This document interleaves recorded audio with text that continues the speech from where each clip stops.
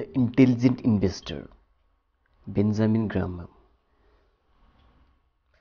Preface to the fourth edition by Warren Buffett I read the first edition of this book early in 1950 when I was 19. I thought then that it was by far the best book by investing overwritten. I still think it is. To invest successfully over a lifetime does not require a stressful IQ, unusual business insights or inside information. What's needed is a sound intellectual framework for making decisions and the ability to keep emotions from coding that framework. This book precisely and clearly prescribes the proper framework. You must supply the emotional discipline. If you follow the behavioral and business principles that Graham advocates, and if you pay special attention to the invaluable advice in chapter 8 and 20, you will not get a poor result from your investment. That represents more of an accomplishment think. Whether you achieve outstanding results will depend on the effort and intellect you apply to your investments, as well as on the aptitudes of stock market folly that prevail during your investing career. The sillier the market's behavior, the greater the opportunity for the business like investor. Follow Graham and you will profit from folly rather than participate in it. To me, Ben Graham was far more than an author or a teacher, more than any other man ex- except my father. He influenced my life. Shortly after Ben's death in 1976, I wrote the following short remembrance about him in the Financial Analyst Journal. As you read the book, I believe you will perceive some of the qualities I mention in this tribute. Benjamin Graham, 1894 1976. Several years ago, Ben Graham, then almost 80, expressed to a friend the thought that he hoped every day to do something foolish, something creative, and something generous.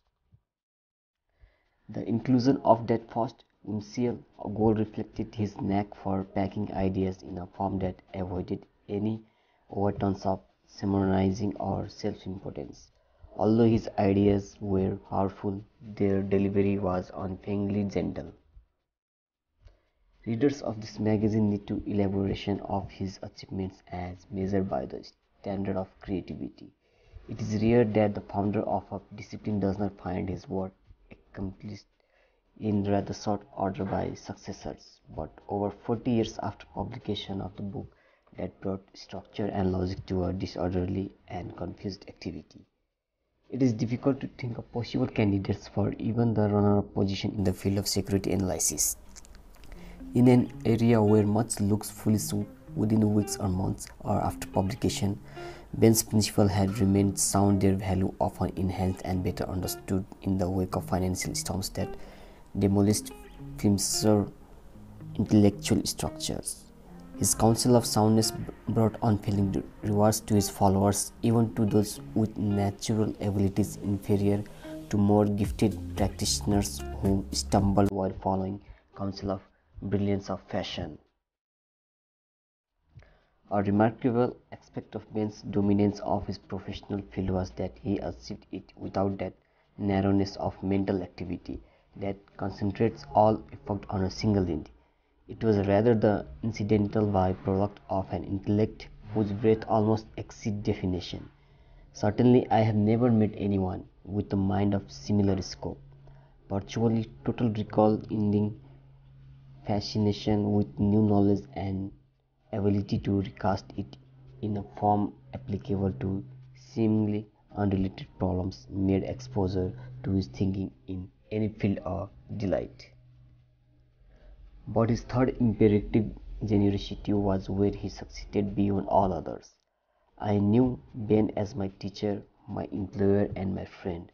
In its relationship, just as with all his students, employees, and friends, there was an absolutely open-ended, no scorescape generosity of ideas, time, and spirit. If clarity of thinking was clear, there was no better place to go, and if encouragement of counsel was needed, Ben was there. Walter Lippmann spoke of men who plant trees that other men will sit under. Ben Graham was such a man.